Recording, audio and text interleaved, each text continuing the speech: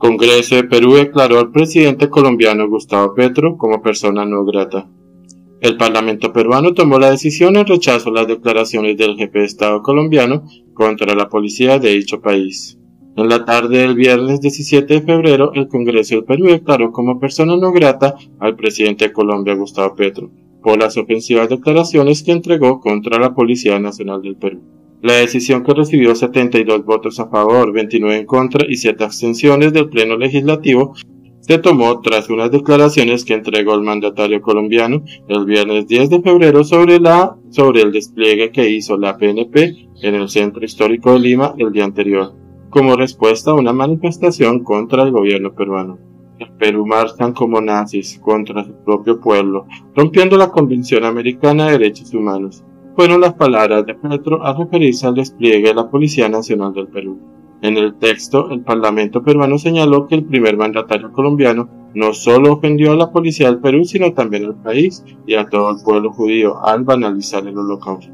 A la moción 5607 que propone expresar su rechazo a las declaraciones del presidente de Colombia, Gustavo Petro, que constituyen una ofensa a nuestra Policía Nacional del Perú y declararla persona non grata, entre otros informó el Poder Legislativo peruano a través de sus redes sociales.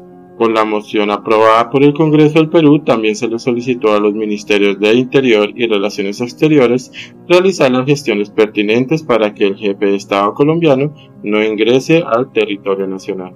Es de mencionar que el presidente Petro no es el único político que ha sido declarado como persona no grata por el gobierno peruano. Ya en ocasiones anteriores, otros como el embajador mexicano en Lima, Pablo Monroy y el expresidente boliviano Evo Morales habían recibido la misma denotación por sus constantes incitaciones en la Policía Nacional, que, según el Parlamento peruano, buscaban desequilibrar el orden interno del país. El fuerte editorial del diario El Comercio contra Gustavo Petro. Un día antes de que el Congreso peruano declarara como persona no grata al presidente de Colombia, Gustavo Petro, el diario peruano El Comercio escribió un un duro editorial sobre las declaraciones del jefe de Estado colombiano, en las que comparó con el nazismo la situación política que ocurría en el Perú. Una sentencia que sugiere que el restablecimiento del orden por parte del Estado, encabezado legítimamente por la presidenta Dina Boluarte, constituye un atropello semejante a los que perpetraban las tropas del dictador Adolf Hitler en Alemania, en la Alemania de la primera mitad del siglo XX, escribió el rotativo peruano. Arreglón seguido, el diario agregó, acaso es nazi ejercer la autoridad que la Constitución le confiere al gobierno ante partidas vandálicas que bloquean, destruyen e incendian propiedad pública y privada? Para luego continuar preguntándose, ¿qué habría sido de lo democrático? Dejarlos arrasar, comisarías, aeropuertos, comercios y locales del Ministerio Público o el Poder Judicial? Como es obvio, ¿no?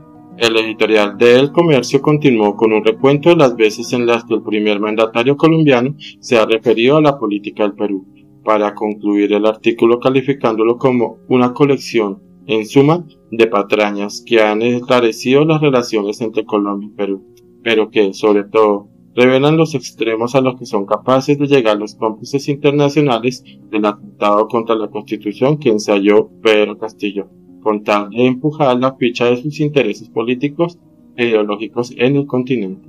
Hasta el momento el presidente Gustavo Petro no se ha pronunciado sobre la decisión del Congreso peruano. No obstante, es de recordar que ya en días anteriores algunos políticos de la oposición colombiana se habrían pronunciado a favor del Parlamento de Perú. Uno de ellos fue Miguel Polo Polo, quien en su cuenta de Twitter escribió, He ahí las consecuencias de colocar a un guerrillero lunático de presidente, vergüenza mundial.